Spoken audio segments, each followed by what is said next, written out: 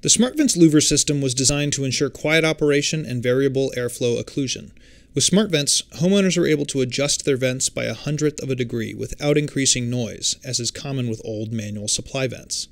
Embedded temperature and pressure sensors help SmartVents track air temperature and airflow, ensuring safe operation in addition to unprecedented control over how air is distributed through a home.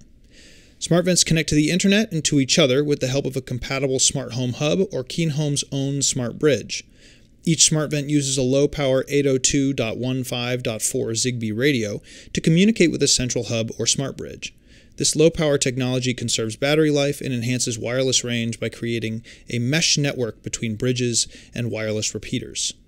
Through the use of this low power technology, in conjunction with advanced control algorithms, SmartVents can last up to two years on a single set of four AA batteries.